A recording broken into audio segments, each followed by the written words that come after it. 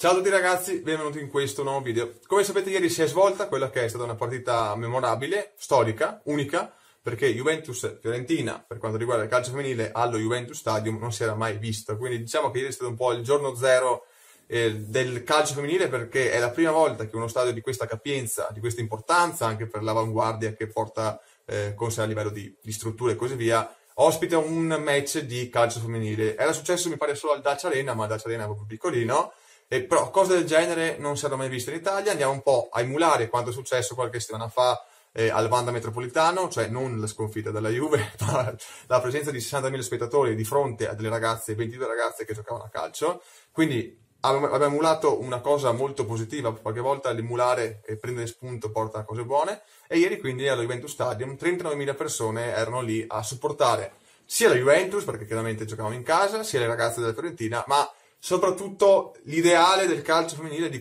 di questo mondo che spesso viene in qualche modo accantonato per n motivi e che grazie a ieri ha avuto una spinta mediatica secondo me molto importante. Credo che nel mondo d'oggi il discorso mediatico, la spinta mediatica sia importantissima per tutti gli eventi, tutte le cose vengono spinte da quella che è appunto la diffusione mediatica stessa, non si può fare meno di questo. Chiaramente uno stadio come quello della Juventus, pieno di persone davanti a 22 ragazze, e soprattutto, soprattutto tanti giornalisti, tanti giornali, media, tv e canale YouTube, il nostro piccolo, che ne parlano, fa, fa, del bene, ha fatto sicuramente del bene. Ieri ne parlavo appunto con i miei amici del processo del lunedì che hanno messo i loro video perché hanno visto la partita, reaction, commenti tecnici post partita soliti e hanno fatto dei numeri impressionanti. Quindi questo ovviamente va a beneficio sia loro ma anche del movimento perché veramente in quel giorno, ieri si parlava di calcio femminile e tutti erano con le orecchie sull'attenti per ascoltare le opinioni degli altri. Quindi ha fatto bene un po' tutti questo giornata del calcio e fa bene parlarne perché fa bene soprattutto per chi chiaramente ci gioca e per questo mondo che viene spesso bistrattato per pregiudizi, quando i pregiudizi dovrebbero essere sempre messi in conto come delle differenze buone del, del calcio maschile e quello femminile, non come pregiudizi di, di io sono meglio di e loro sono peggio di. E parlo di pregiudizi che spesso vengono mh, messi in campo da persone che secondo me non conoscono a fondo la questione o comunque non hanno voglia di imparare. Io personalmente ho voglia di imparare da questo mondo del femminile perché eh, non tanto il discorso prettamente calcistico perché non gioco a calcio, perché chiaramente negli anni ho visto tante partite di calcio grazie al calcio maschile, ma per capire cosa c'è nel calcio femminile che può essere d'aiuto a tutto il calcio nel suo insieme e cosa andrebbe in qualche modo valorizzato affinché le stesse ragazze che giocano possano vedere esauditi, esauditi, no, esauditi i propri sogni. Eh, io sono uno che, come ho detto prima, a cui piace apprendere, imparare, la cosa più importante è quella, quindi io non, non dico che di, di, sapere le cose, io sono totalmente ignorante in materia e appunto questo, per questo motivo vi rimando a Fuori Rosa TD per tutti quanti i discorsi legati al calcio femminile.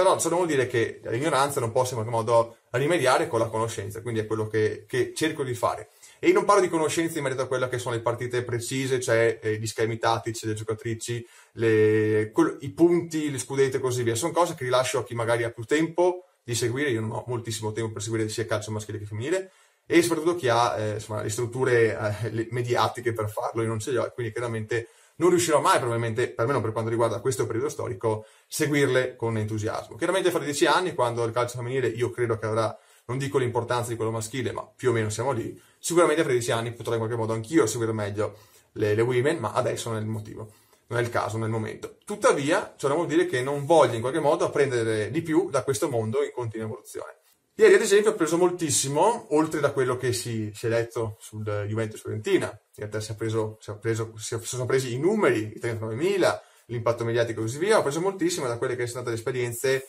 di vita professionali calcistiche di, di ragazze che eh, ho potuto intervistare in qualche modo nella live di Mondo Calcistico. Tra l'altro colgo l'occasione per ringraziare ancora l'admin di Mondo Calcistico e tutti gli ospiti collaboratrici. Ieri ero, è una cosa più unica che rara, io che solitamente faccio solo collaborazioni con, con youtuber maschi, nel processo del lunedì e così via, in cui mi vedete me e tanti altri eh, maschi, basta. Ieri ho avuto l'opportunità di fare io una live con solo donne, quindi chiaramente è una cosa... Anche questo è stato un po' il mio mm, giorno zero in qualche modo, un po' come Juventus Fiorentina, perché non mi era mai capitato di ospitare eh, delle donne in live, soprattutto perché chiaramente, come sapete, anche YouTube è molto maschile come, come tipo di, ehm, di, insomma, di, di youtuber, di maschi, tranne un paio di casi. Eh, e quindi chiaramente ieri è stato un evento più unico che raro, quindi mi ha fatto piacere questo perché si respira un'aria diversa quando si mezzo alle donne. non me ne vogliono i miei amici del, del, del, processo, ma chiaramente ieri non mi è dispiaciuto stare in compagnia delle donne. E soprattutto ho preso moltissimo da questa realtà eh, in prima persona perché sono tutte ragazze che hanno, hanno o giocano, hanno giocato o giocano appunto eh, in squadre femminili. Cosa che ho preso? Ho preso innanzitutto quelle che sono delle differenze di base tra il calcio maschile e quello femminile. Differenze che non vanno prese in quanto differenze come, come dicevo prima, o forse non ho detto, non lo so, come io sono meglio di e loro sono peggio di ma come differenze che vanno a valorizzare proprio le peculiarità di quel calcio, di quel tipo di sport. Parliamo sempre di calcio, ma calcio vissuto, visto in modi diversi dal punto di vista tecnico, calci- eh, atletico, tattico e così via. Cosa abbiamo preso? Abbiamo preso che il calcio maschile è molto più avanti, intanto perché è da tanti anni che si gioca, e, e perché ha più strutture dal punto di vista medico, atletico e così via, per in qualche modo portare a questo risultato che vediamo oggi da anni. Quindi sicuramente la componente atletica è maggiore in quella maschile sia per un discorso puramente genetico, ma anche per un discorso di, di strutture di allenamenti. Tanto che, ad esempio, lo stesso calcio femminile in Italia non è paragonabile a quello in altri paesi, posso pensare agli USA, alla Francia, all'Inghilterra, in cui gli atleti sono molto più forti perché chiaramente hanno una tradizione femminile molto molto più ampia. Parlavo con queste tre ragazze, erano tre ospiti, tre ragazze molto giovani, più giovani di me, che giocano nel, nella squadra universitaria eh, nel Tennessee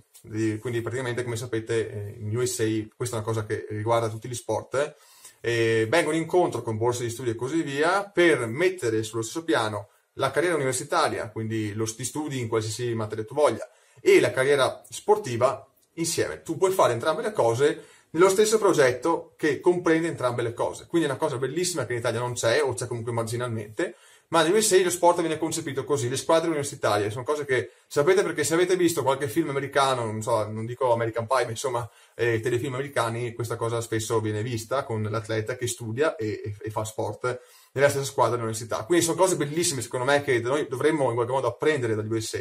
quindi mettere anche sul stesso piano la componente sportiva con quella professionale, che avviene negli USA e quindi per queste ragazze c'è questa grandissima opportunità e hanno promesso loro che chiaramente il livello del calcio negli USA è altissimo perché lo stesso calcio femminile viene messe, messo sullo stesso piano di quello maschile.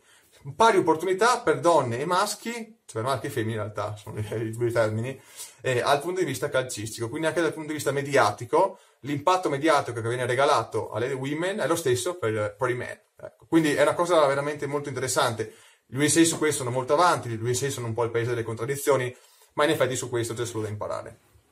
Quindi ho imparato moltissimo da queste ragazze per questo motivo qua. Quindi le differenze ci sono tra calcio maschile e femminile, per livello, nel senso che il calcio mas- femminile italiano è molto indietro rispetto a quello fuori dai confini. Ci sono delle differenze dal punto di vista atletico anche dovute alla genetica tra quello maschile e quello femminile. Ciò non vuol dire che questa differenza genetica sia un discorso di superiorità o meno, perché parliamoci chiaro, ci sono anche le componenti tecniche, quindi eh, gesti tecnici, le componenti tattiche che sono frutto dell'evoluzione della bravura di allenatori, di giocatori di capirsi in uno schema tattico, quindi anche qui è una cosa in evoluzione in base anche alla bravura stessa, chiaramente sono t- è facile trovare all'interno di un contesto maschile dei bravi allenatori perché sono tantissimi e perché sono di, di, di, provata esperienza. Un po' più difficile sicuramente trovarlo nel calcio femminile adesso italiano perché è un po' indietro dal punto di vista dello sviluppo stesso del movimento. Quindi un discorso di tempistiche, quando fra dieci anni il movimento femminile avrà avuto le sue opportunità, sicuramente ci saranno allenatori più bravi, allenatrici anche stesse,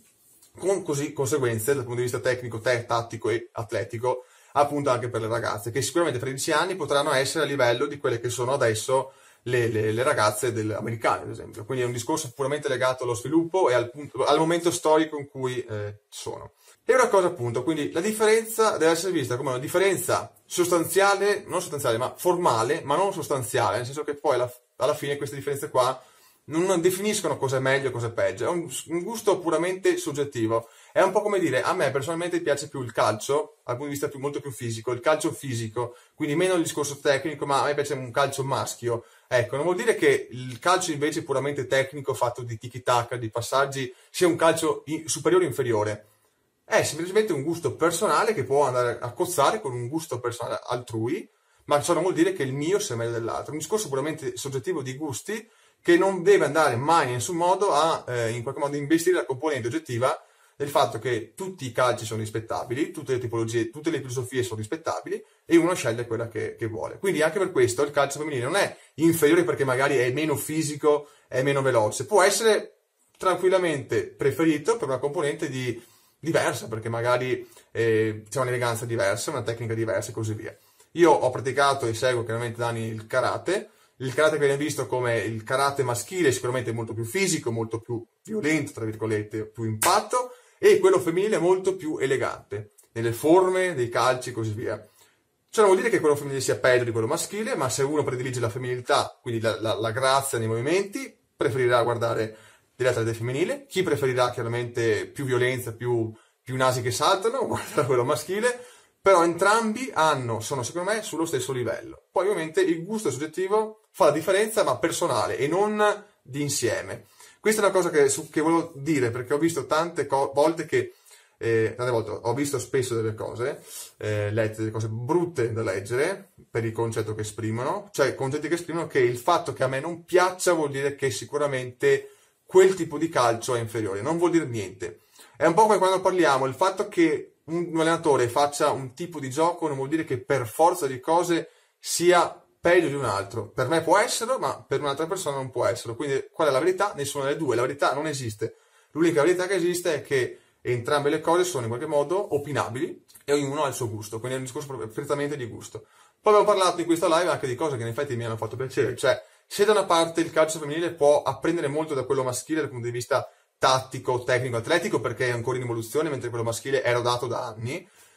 anche noi maschi, noi maschi inteso come noi maschi, ma poi i calciatori maschi, apprendere, possono apprendere tantissimo dal calcio femminile in termini di, me, di fair play, di, di comportamenti, Ieri ne parlavamo ed è questa una verità, un, un'assunzione veramente importante, che le ragazze se la menano, se, se, se, si menano, mm, come fanno anche i maschi, tra virgolette, però c'è molto rispetto, quindi l'avversario si rialza, si dà una mano all'altra dell'avversario,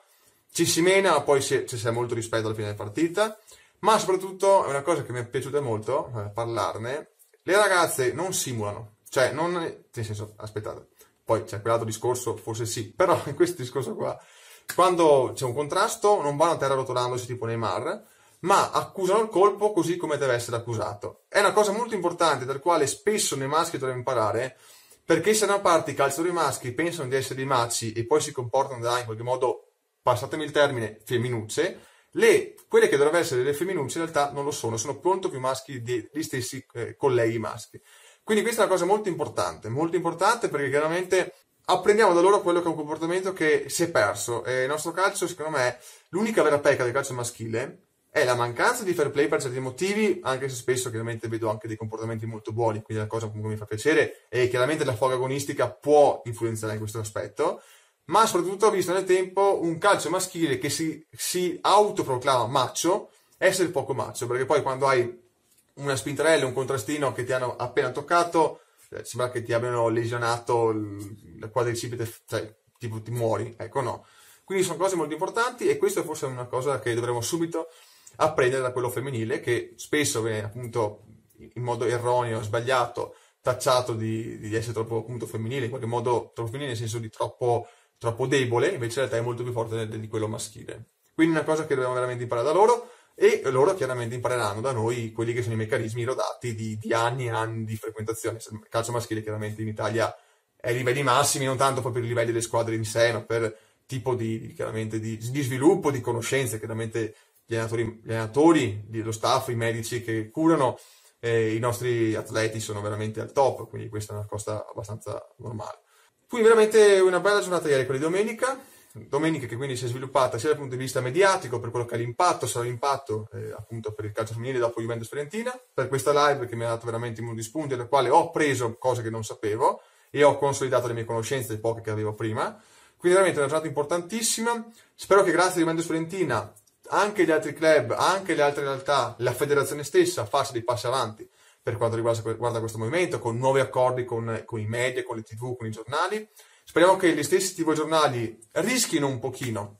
e si prendano in qualche modo un rischio anche, perché potrebbe essere un rischio, di parlare di più di calcio femminile, in modo da creare una, sempre di più un'utenza sempre più importante. Ieri allo stadio c'erano persone non solo che ti fanno Juve e Fiorentina, ma altre persone curiose che ti fanno altre squadre, perché ieri, ieri ha vinto il calcio prima di tutto, quello femminile, ma anche secondo me il calcio in generale. Perché ieri è stato una, un modo per avvicinare altre persone e ricordiamoci che se noi per, se poi il vero obiettivo è portare in qualche modo lustro alle ragazze che giocano a calcio, per i stessi club che fanno calcio femminile può essere veramente un'opportunità di sviluppo economico anche, perché poi alla fine è lì che andiamo a parare, non noi, ma chiaramente i club che investono. E non è una cosa sbagliata, è una cosa ottima, perché il calcio è anche business e lo stesso business del calcio femminile deve essere visto come un'opportunità importante in un mercato, quello nostro, che in questo caso è un mercato emergente. Quello nostro è un mercato emergente per quanto riguarda il calcio femminile.